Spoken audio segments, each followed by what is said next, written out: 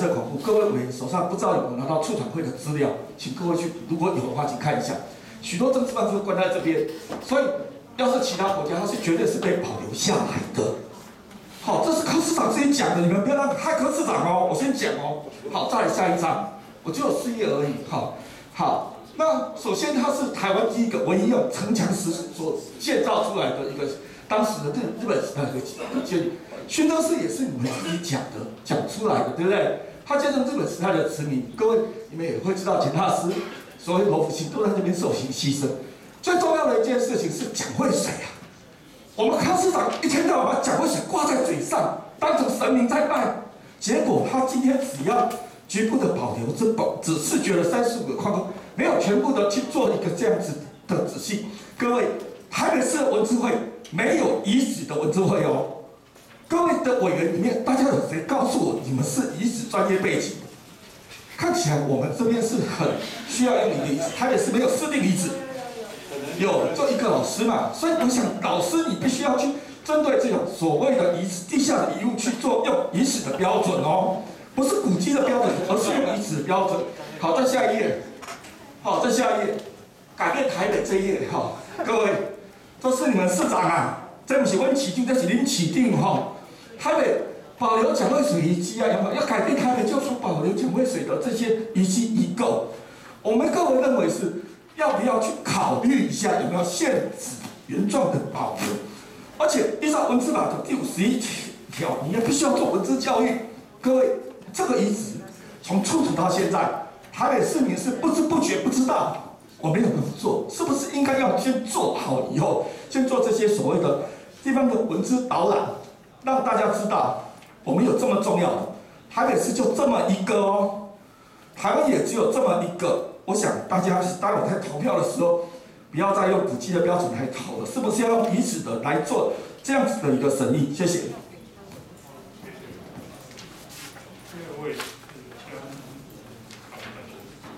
呃，各位委员大家好，我是台大的内系江之华。那今天其实呃呃来。主要是来啊表表述一些在作为一个考古学者对这个遗址的一些看法这样子。那刚才其实很感动，听到这个建筑师谈到怎么样规做未来的展示规划，然后看到建筑师对于这个整个历史深度的一些一些尊重这样子。那其实是非常非常动人的部分。那可是我觉得一个很重要的部分就是说，其实不同的展示，各种展示需要不同的故事去支撑这个展让这个展示变得有意义。这样。那呃这个遗这个遗址呢，这个台北监狱围墙遗址呢，其实除了我们现在看到，不管是考古发掘看到的这个。地底下所谓的结构、宣真石啊这些，我们在其实古地图上面，在这个文献上面都可以看出来的结构之外，其实刚才呃这不是报告有提到，就是考古团队这几这两年这两三次的发掘里面，其实发现了非常多的考古遗物。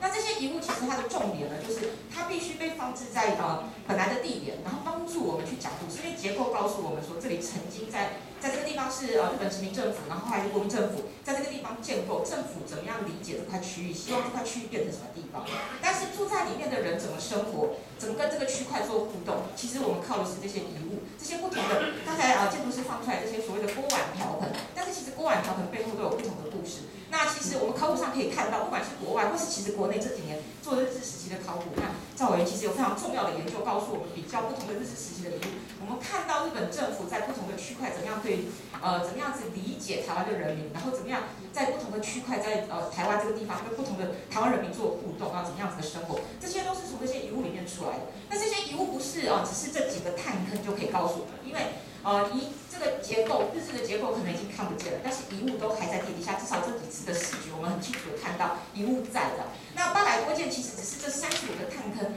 到目前为止可能甚至更多，因为八百多件可能是早期的这个发掘。那这整个区块到底多少的遗物在这个地方？那这些遗物在不同的地方，它可能告诉我们不同的故事。它如果在这个围墙边，在宣真室，然后在这个厨房，在工厂，它其实都告诉我们不同的人在不同的地方做不同的事情。那这些其实是接下来展示计划非常重要的这个故事基底。我们怎么样说这个故事？其实靠的就是这些这些遗物。所以其实现阶段看起来这样子的三十五个视觉探坑，让我们理解这个遗址这个非常重要的这段历史。刚才历史啊，这个建筑师也说到，从清领一直到这个近代，这个已经非常长时期人类生活的这个历史脉络，其实我们理解的非常非常少，只有三十五个探坑，因为大家说面积非常大。但是我们真正理解这个遗物的出土的这个位置。其实只有三十五个探坑，所以其实我们需要更多的理解，更全面的理解这个区块到底什么人住在这里。然后我们当然知道从文献上面知道是所谓的这个跟监狱相关的人，那到底有哪些人，怎么样子生活，然后呃做了什么事情，然后他们这些生活的这个呃意义到底什么？然后再来就是因为这是发生在台北市政台北市内部呃相对来讲的呃大型的一个一个遗址的，那我们怎么样理解这个故事？其实是是一个提供给所有台北市民理解台北历史最好的一个场域，这样我们就在这个现场看到这些物品跟这些结构一起出土，然后透过这个考古团队整个现场的解释，可能可以给民众更深的这些历史的这个感受到。那我想今天的发言就到这里。第三位是好，我嗯，我是林奎庙，目前就读北医大的博物馆研究所。那刚刚在听这个报告的时候，我自己有从文字法里面好像有几个困惑，是说现在这个保存展示计划，呃，到这这个阶段，到底文资会是不是已经完成所谓文字法施行细则第二十七条要求的任务？因为看起来社宅的面积是大过于现在的探坑，但是整个基地要不要做全面性的抢救发掘，这个是明定在文字法里面的。那因为这个计划名称它叫视觉，所以我有点不太明白，就是这个程序是否已经完备？那应该还包括说，以现在出土的现象，恐怕可能要来讨论它是不是有价值面的，更需要去讨论的这个轴线要进行。那第二个是说，呃，保存展示计划中好像，呃，比较少提到这些出土现象的诠释，因为这个会涉及说，假设我们要进一步讨论它的价值的话，到底是要用古迹类别来讨论，还是用考古遗址的类别来讨论？因为两个呃的审定指指定标准是非常不一样的。就是考古的话，它其实会更重视出土现象的人类学跟民族学的这个呃关联，而比较不是考古的呃稀有性。对，那所以就是这个也是一个我比较呃在刚刚报告里面听不太出来的部分。那另外是就是会有几个建议是说，可能在法的程序上必须要先。呃，来厘清一下，到底现在这个讨论是是在审一个计划吗？还是应该是出土现象的价值的讨论？那另外是，呃，不管这个现象本身有没有具备价值，应该保存展示都不太应该是是刚刚讲的那个内容，因为刚刚那个感觉比较像是单个单个物件怎么摆放，那可是这个物件之间应该会有一些它的联动性，是不是应该要回归这个全面性的呃来讨论？那包括说。嗯，就是在文字法里面有提到说，像这样子的基地在考古发掘完成之后，其实应该是要做一些公共教育的。那对这个可能也是呃，好像是文字会可以再进一步讨论的。那另外是说，刚刚肖老师有提到说，台北监狱其实跟呃现在是被纳入出展会的不义遗址啊，我在网网络上有看到。那所以它的展示，刚刚在讲到那个社宅的呃。就这个展示看起来也想要谈这个社宅的基地，那到底那个所谓社宅基地的历史是什么？好像也是内容比较没看到，因为可能它包括了，可以追溯到比较近的二零一五年的华光社区的这个，呃呃。社会行动，对，可能都是展示里面可以去考量的。那么从呃出土的文物，然后到日据时代，到战后的这些事件，到近代的呃这些比较弱势住户的历史，是不是可以做一个比较全面性的讨论之后，再来说我们这些现场的遗构可以讲什么故事？那以及包括说我们建就是社宅的基地，刚刚看起来社宅基地好像呃会，因为看不太清楚啦，就是不知道是不是会直接覆盖到现在的遗址那。那那些遗构，它是会所谓的现地保存，是会像那个北门那样子移开之后再移回来吗？还是会因为它做一些变更设计？就是这是我提出来的问题，谢谢。好，谢谢。这位是黄教授。嗯，各位嗯主席委员嗯前辈们大家好，我是王淑美，我现在任教于台大数据情况研究所。那我呃今天会来这边，是因为我呃在二零一三到一五年的时候，也刚好有机缘参加呃争取保存呃台北监狱古迹的过程。那甚至包括呃在这个地方争取到有社会住宅。那呃其实那段过程有非常多的伙伴今天没有办法到现场，但是呃多年来其实大家也很呃关注这个案子。那当然也很。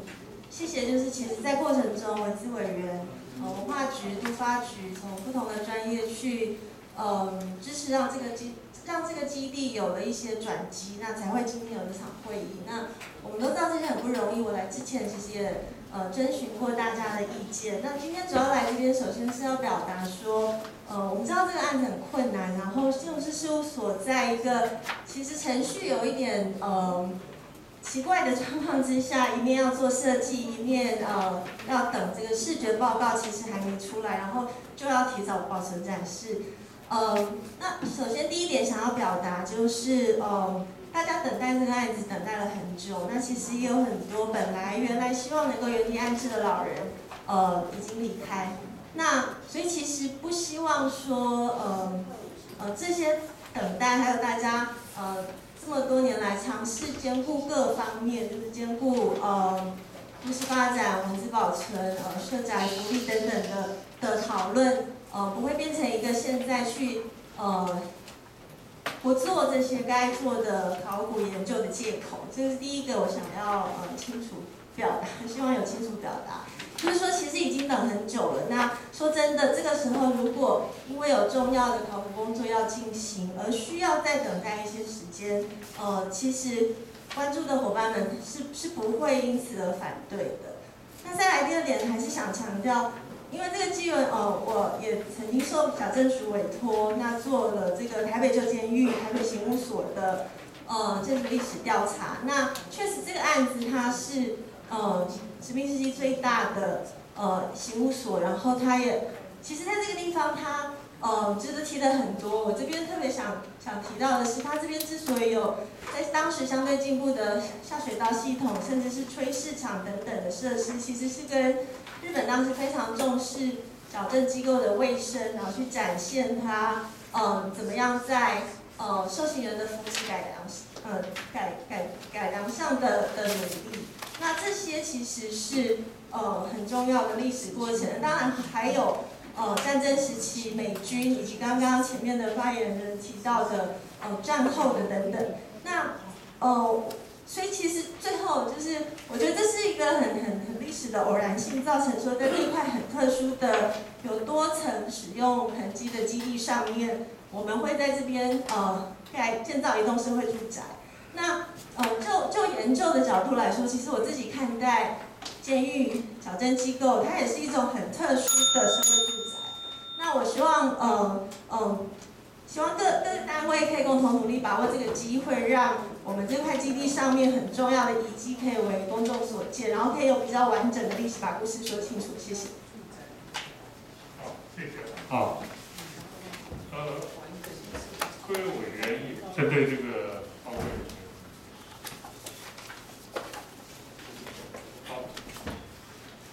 张老师，好，那个主席、各位委员，嗯，你大家大家好，那个我两点意见提供给那个呃那个呃规划单位啊。那上次呃我们开会的时候审查的时候，其实已经有提到了，就是呃我们我们针对接下来呃全区的那个全面的开挖啊，这个部分后续的那个开挖的那个监控的这些相关的注意事项啊，那个呃包括记录的工作，请那个呃。纳入这一次的那个呃记录啊，因为没没没有刚刚没听到那个报告。那再来就是那个第二点建议哈，就是我我们第三个所谓的三门户的那个计划啊，就是我们在这一次的考古挖掘里面，其实有看到那个工厂啊，工厂跟那个井户的这个呃放放脚的这个基脚啊，那基础，那因为其实还是不是很完整啊，那。呃，我我觉得很好，就是我们我们希望用现址原址保存的方式去做处理。那如果是这个样子的话，我建议那个范围扩大啊，因为我们现在视觉是两米乘两米，在可能的状况之下，尽量扩大那个呃保存的这个范围啊。我大概这两点意见提供。好，委员好，老师，主席，主席，各位委员，那这个这个案子我算是呃。参与比较深哈，那我想我想在这边做一点，就到这个这个阶段的一些 规划的一些建议啊。我想呃，从这个一开始原始就是呃，就几年前的前的这个文字决议的要求的，跟现在要求去探索一下地下的，是不是还有以及这个规划？到目前为止，其实因为社宅的呃的的建设开发哦，所以大体上的原则应该是一个展示保存的方式，也就是这本报告现在第四章的方式哈，来一并保存地下可能存在的文字了。那从我个人角度，我觉得这个的意义还算还算是是可以，但是问题是怎么达到这个步骤？那也就是说，这个现在的一路走过来的大原则，变成是说，从一开始的很少的局部的探坑的视觉，然后希望能够了解在图资上可能有可能看到还跟保存下来的地方，做一点做一点视觉，然后到了第二步骤的扩大视觉，也就是现在各位报告里面看到的状态，在这里面，然后用这样子的方式去对下一步骤的呃，它称之为保存发掘阶段啊，来做一个规划。我想这这个逐步的、逐步的去呃，用更多的线索做更好的规划，应该这个原则是可以的。只是说现在看到的这个报告的一百五十七到一百五十八页，就是在做这一件事情的规划。但是现在这个一百五十七页到一百五十八页，其实问题蛮严重。第一个就是说哈，首先各位可以看到，这我想在里面的用字跟叙述的文字明显的有避重就轻哦。那这个正式的文书上面这样子去去撰写哦，我我想那个建筑师事务所那边可以再思考一下，可能看是怎么样子，就用更更妥当的文句来去做描述哈。那第二个则是说，其实有一个问题，可能要请建筑师跟那个都发处这边仔细的思考一下，就是说，我们从这个这个一百五十八页的结论回去对你图二十二到二十四，也就是表呃到跟表一里面哈，我们可以看到有一半以上的视觉探坑里面保留了日治时代的建筑遗存，有包括墙、包括铺面、包括呃灰坑、包括呃放脚、包括等等等，这个一半以上的这个几率，在我个人的经验上已经非常的高，这表示说，这表示说你后续的这个保存发掘要怎么规划，恐怕要很仔细的去思考一下。那你现在你也就是说，就你可能发现更多更多的建筑遗存，那个时候你的后续的这个呃一馆二廊三门户的这个展示是不是要再扩大？但这个想法我是我说过我是很赞成的，只是你们现在手上的材材料讯息，恐怕你明明显的低估了它。那所以也就是说，在这个样子哈。你可能需要在最后的这一个，你这边现在只有我看只有在一百五十七有一个地方写到保存发掘阶段了，那这个也可能要再送一个，要要有一个更完善的规划再去讨论，比如包括包括那个张委员几次提到的几个探坑里面出土的现象，好像已经可以回去重新反省，这个这个重新比对那个图纸是不是？是不是低估了这个这个埋藏的留存留的可能性？那第第二话一个则是说，在如果后续要做这样子的发掘后，我会建议以公众考古的方式的作为哦，扩大民众参与，让你去凝结这个社区上对这个地区的历史文字的一些关怀，在这个过程中，像刚才台大的张老师提到的。在你看得到的状态之下，站在土地上来去回去想这个土地的历史，那是一个很好的一个公共考古的机会。我希望后续的规划能够把这个想法放进去里面。以上也建议，谢谢。好，谢谢。哎，老师。我不是考古专家，不过那个从呃华光社区社区那些的运动到现在已经有。好多年了，然后他们也做了好多的基础调查、煤品等等。可是我只是一个 question，就是说，现在社展已经做到这个程度了，那我们同时就说，也不是同时啊，后续发掘出来的一些东西，那到底我们这边有没有文资身份啊？那如果没有的话，这个报告出来，要做什么依据，我们要该怎么处理。如果说报告通过了，我们照认同它这样，那可是社宅是不是照不准？那就跟好像大家所提到的，它有很多的挖掘出来的东西，不晓得该怎么处置。那第二个是，呃，没有错，它现在这个展示就是说我看到什么东西。那我们如果再回归头来，我觉得说什么样的地方发现这个，我觉得那个 mapping 也很重要，而不是把它陈列出来就好。那就会回归过来看说，那色彩的这些东西跟它的关系是什么？哈，以上谢谢。谢谢。刚好是有我我我想谢老师，哎，我我这我这边哦在在碰。对，那个其实上次有提到一件事情，就是说那个先先不管熏蒸是他要展示的那个位置跟方式啊，会会是什么？那因为就现在看到的空间，刚刚建筑师提到，就是说会放在那个楼梯的下方。那我我觉得这一块，先如果确定是要这样做，当然要看后续这一次大家讨论完之后的方案是要朝向这个方向嘛。那如果真的要这样做的话，那它摆放的位置跟楼梯之间的关系，我觉得这个还是可能要麻烦建筑再帮忙稍微思考一下，就是说人站在那个下方，它跟上面的那个第一阶。就是第一个那个平台上面它这个高度上的关系，包括它设置这个长宽高，我觉得这个其实还是要帮忙再多做一点说明，不然它有点像是放置在呃剩余空间下方的的感觉，哦，这样其实不太让人家感受到我们对文化资产展现跟呈现的一个态度。我觉得这个其实还是要帮忙再看一下。我们应该如果它它重要的，应该放在一个我觉得每个人都可以容易亲近，而且看得到，而且可以好好的。观察，可以好好的理解，哦，当时的一些脉络的一个空间内，那是不是要放在所谓台阶的下方？它这样放在下方，跟它的管理维护的品